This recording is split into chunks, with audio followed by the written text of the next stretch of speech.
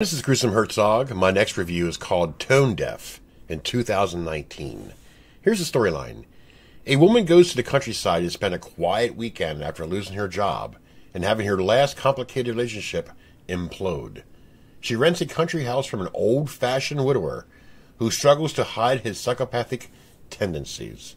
Directed by Richard Bates Jr., written by Richard Bates Jr. Here's the cast Amanda Crew as Olive.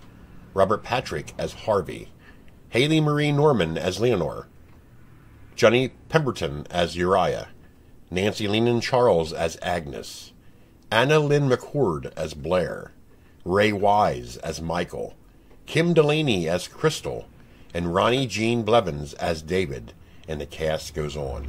Now, here's a film that I was of kind of interested in seeing. Um, I seen the trailer, which I don't watch trailers too often, but I seen it was Robert Patrick, an older guy, cranky, lived his life, but he had a something he never did before is kill someone. Quite crazy, right?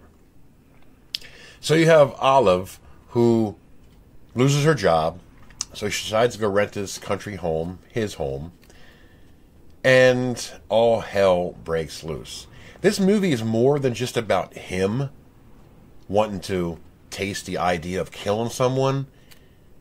There's something else in this movie that I thought was fascinating is the bar scene where Olive goes and meets this Texan guy and uh, Harvey is sitting at the end of the bar and he sees what this guy is trying to do.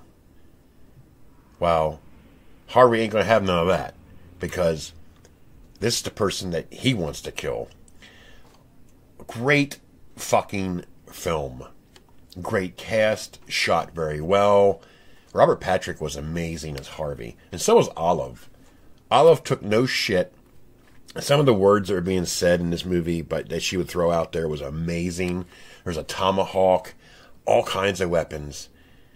But one of the scenes in this movie that was creepy but who's actually the bad person? Is it Harvey, or is it the psychopath that Olive was going to date?